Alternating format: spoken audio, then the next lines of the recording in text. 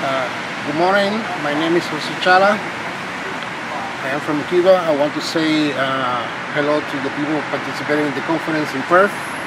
Unfortunately, I cannot come there because I need to go back to Brewarrina, where I'm trying to do the best uh, the Cuban can do to help the community implementing the Yes I Can pro program and trying to reach uh, most of the people with some illiteracy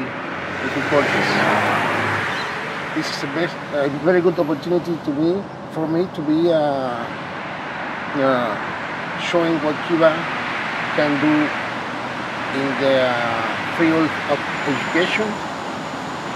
And uh, as a matter of fact, we are planning to go uh, forwards to move up and trying to do more in the future, in the near future. Cuba is uh, a country where you can find solidarity. and this is what we are trying to do here.